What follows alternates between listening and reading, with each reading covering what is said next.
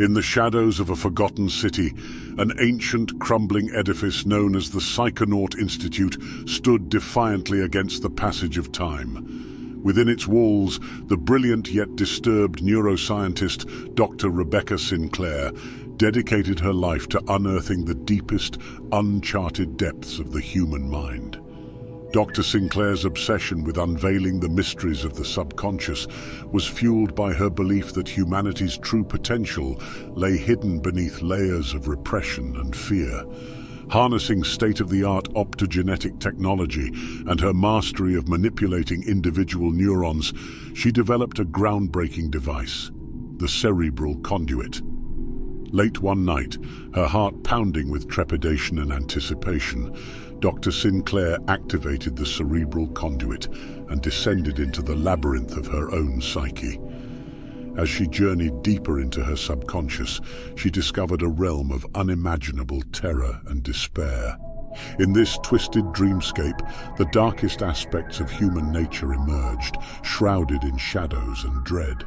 The horrors of her past, the twisted desires of her heart, and the nightmarish visions of her most primal fears coalesced into an all-consuming darkness. As Dr. Sinclair ventured further, she stumbled upon a locked door forged from the blackest obsidian. The door was adorned with impossible shapes and patterns, its darkness rivaling that of a black hole. Its pulsating energy emanated an ominous aura that beckoned her morbid curiosity. Compelled, she unlocked the door and stepped inside.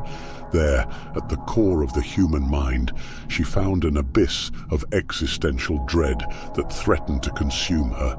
This was the birthplace of suffering, where the human psyche was forged in the fires of agony and despair.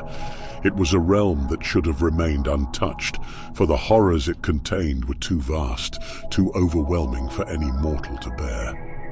Realizing the terrible truth she had uncovered, Dr. Sinclair desperately tried to escape the nightmare she had entered.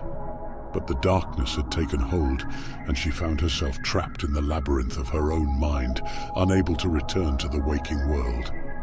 Ultimately, she was enveloped by a blackness beyond comprehension, a darkness so absolute that even Hawking radiation couldn't escape its grasp, darker than the depths of a black hole. The Psychonaut Institute was eventually abandoned, its crumbling ruins, a testament to the folly of exploring the uncharted depths of the human mind. Dr. Sinclair's tragic end stood as a bleak testament to the unfathomable perils that lie hidden within the human mind.